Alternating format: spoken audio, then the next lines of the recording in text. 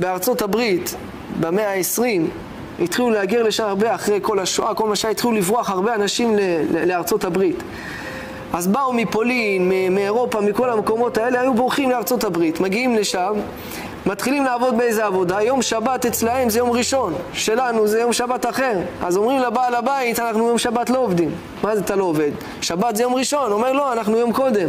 אומר לו, טוב, אני לא יכול להחזיק אותך. ככה כל היהודים עובדים שבוע, מתפטרים. עובדים שבוע עד יום שבת, כולם מתפטרים. היה ניסיון קשה ביותר. הרבה יהודים נפלו בשמירה של השבת, אמרו פיקוח נפש, נפלו. הייתה איזו משפחה אחת, משפחת בודנר. אנשים קדושי עליון, האבא כל פעם היה בא הבית, מפוטר, בא עם מכתב פיטורין, רוקד. הילדים אומרים לו, אבא, מה, מה אתה רוקד? אמר, ברוך השם, הנה, בזכות שבת, אנחנו הצלחנו עוד שבת אחת לשמור. אנחנו עוד פעם, פיטרו אותי מהעבודה ואנחנו שומרים שבת, איזה מסירות נפש, תראו איזה מצווה. ככה כל שבת היה בא הבית, רוקד, נותן לילדים שלו את הפרנסה, אוכלים, עושים סעודות שבת, חיים עם שישה ימים, עובד עבודה אחרת. כל עבודה שהייתה לו היה עובד כמה ימים, שבת מתפטר, בא הבית, שמח. הנה, עוד שבת מסרנו נפש. כל פעם ככה מחדיר לילדים שלו מה זה ערך של שבת. טוב, מגיע איזה יום שבת אחד, אין כסף לעשות שבת. כל העבודות כבר כולם הכירו אותו שהוא עובד בשבת, לא קיבלו אותו אפילו לעבודה. אין כסף לעשות שבת, בא לאשתו, מה אל תדאג, מסירות נפש, נצום בשבת, לקדוש ברוך הוא זה קורבן עולה.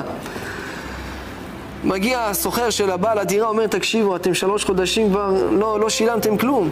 אמרו לו, טוב, תן לנו לעשות את השבת הזאת, ואחרי זה נסדר לך, נראה מה אפשר לעשות, נמצא עבודה. שום דבר, אם אין עד כניסת שבת, כסף, אני מוציא אתכם מהבית. טוב, לפחות שבת, נעשה, אחרי זה תוציא, לא מעניין כלום.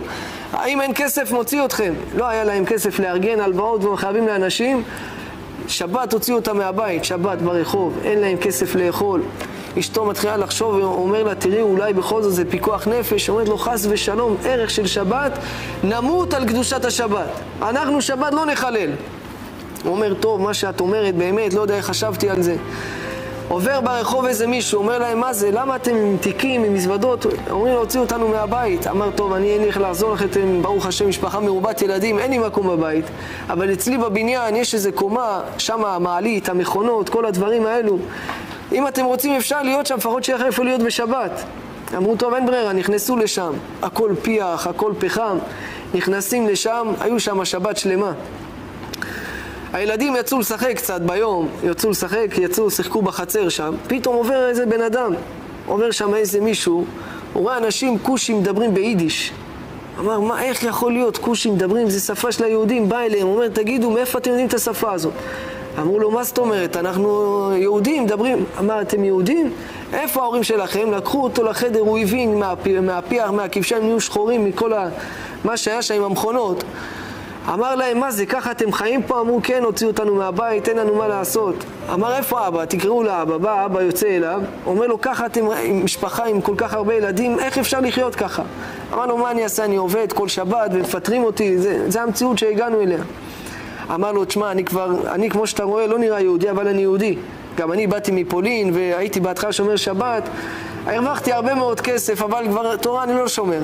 אולי אני אתן לכם איזה צ'ק, תקנה בית, עסק, תשמור שבת, תעשה מה אתה רוצה, אבל תכוון גם לזכותי, שיהיה לי זכות בשבת שלכם.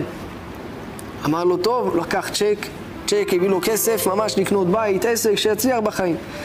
בא לאשתו, אומר לה, תראי מה הביא לי היהודי הזה. היא מסתכלת, היא לא מאמינה, ככה סכום גדול, בן אדם תרם. אומר לה, הנה הוא פה בחוץ, אולי תגידי לו תודה רבה. היא באה, היא רואה בן אדם חילוני גמור. היא אומרת לו, תשאל אותו אם הוא שומר שבת. הוא אומר לה, עזבי אותך, שומר לו שומר, תראי איזה צ'ק הוא הביא לנו, תשחררי אותו. לא, תשאל אותו אם הוא שומר שבת. הוא בא אליו, אומר, תגיד, מחילה שאני שואל, אבל אשתי אומרת, אתה שומר שבת או לא? הוא אומר, לא, אמרתי לך, אני לא שומר שום דבר, איזה שבת? אשתו אומרת, אם ככה, אז תחזיר לו את הצ'ק. אומר לה, מה, מה עובר עלייך? אין, תראי איפה את חיה, מה תחזיר את הצ'ק? מסדר לך את החיים, הכל. אני לא מוכנה לגדל את הילדים שלי עם אוכל של מחלל שבת. לא רוצה שהילדים שלי יספגו חילול שבת. מסרנו נפש עד עכשיו, קדוש ברוך הוא יעזור לנו, אל תדאג, אנחנו לא דואגים. קח את הצ'ק בחזרה, תודה רבה, השם ישמור אותך. הוא הלך, צוחק, מבסוט, אומר איזה אנשים משובשים, תמימים, מסכנים. הלך, בא הבית ומספר לאשתו, את לא מבינה מה היה היום, ראיתי אנשים כושים מדברים ביידיש ולא לא לקחו, את יודעת איזה סכום הבאתי, הם לא לקחו את הכסף. היא שומעת, איזה מתחילה לבכות. בוכה, נכנסת לחדר, נועלת את עצמה, בוכה, בוכה, לא. אומר לה, מה יש לך? הכל, אומר, טוב, נשים, יש להם רגש. טוב, מחרת בבוקר, בא לצאת לעבודה, היא אומרת לו, תקשיב טוב. אם אתה עכשיו לא מקבל על עצמך לשמור שבת, אני חוזרת להורים שלי. אתה יודע מה האנשים האלה עשו לי? אנחנו באנו מפולין, היינו, אתה זוכר איך הייתי עם חצאית ארוכה, ומה זה היה שבת? איך, תראה איזה מצב הגענו, אנחנו רואים כמו גו, אתה, אתה צוחק עליהם עוד? אפשר למסור נפש על שבת, אם עכשיו יש לנו אפשרות, יש לנו כסף, יש הכל. אם אתה לא מקבל עצמך שמירת שבת, עכשיו אני נפרד ממך, אני חוזרת להורים. אמר, טוב, מה את בלחץ, הכל בסדר, לא לאט לאט שום דבר, עכשיו אתה מקבל על עצמך הכל. אמר, טוב, אני מקבל על עצמי שבת, שומרים שבת. לך עכשיו, תגיד לעבודה הכל, שאתה מתעכב, קנה פלטה, נרות שבת, פמוטות, צלחות, הכל. אמר, טוב, הלך, קנה כל מה שצריך. אמרה לו, עכשיו אתה שומר שבת? כן, הנה, אמרנו, שומרים שבת. לך לזוג האלו ותן להם את הצ'ק. תגיד להם, עכשיו אני קיבלתי על עצמי שבת, הם יכולים ליהנות מהכסף הזה. לקחו וקיבלו את הכסף הזה בהיתר. ללמד את האדם, אדם שמוסר עצמו על מצווה, מוסר את עצמו על קדושת השבת, הקדוש ברוך הוא ישלים לו חסרונו. כל מה שאתה רוצה, הגמרא אומרת, פותחים לו נחלה בלי מצרים. שפע, פרנסה, בריאות, לא משנה מה המצב בעולם. יש קורונה, אין קורונה, יש עבודה, אין עבודה. אדם שמכבד את השבת, מכובדי יכבד. אומר הקדוש ברוך הוא, אני אכבד אותך, אני אתן לך שפע כל טוב, לא יחסר לך שום דבר של העולם. שום דבר, יש לך ברכה של שבת, כי היא מקור הברכה.